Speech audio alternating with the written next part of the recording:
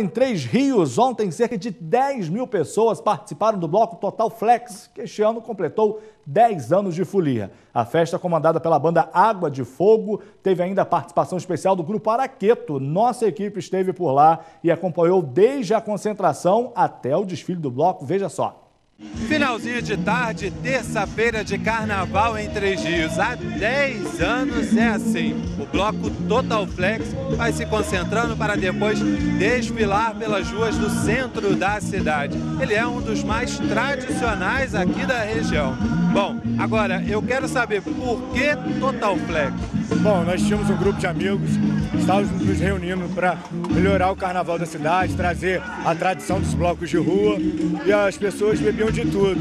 Então colocamos o nome de Total Flex. Apesar de que hoje virou um bloco para família, para as crianças, para idosos, que atendeu a todo mundo. E aos poucos a concentração vai ficando cheia de foliões Total Flex. Carnaval, quem consegue juntar o anjo e o diabo junta, que o carnaval não faz.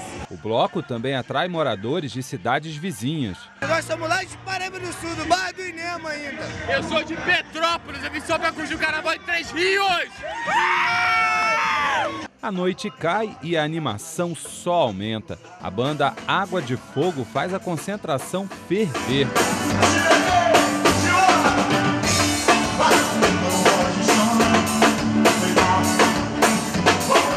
Frio pede passagem e o público acompanha. Agora nós estamos chegando na Praça São Sebastião e veja a multidão que acompanha o trio.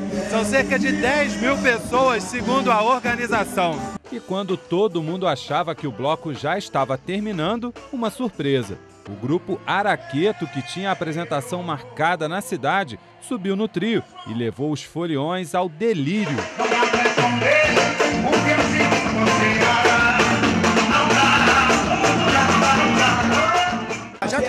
Cidade, já vi algumas vezes. É sempre assim. É, não é nada surpreso para mim esse tipo de recepção e é sempre emocionante, né? Isso na verdade é uma grande parceria entre o artista e 90% que me completa, que é o meu público.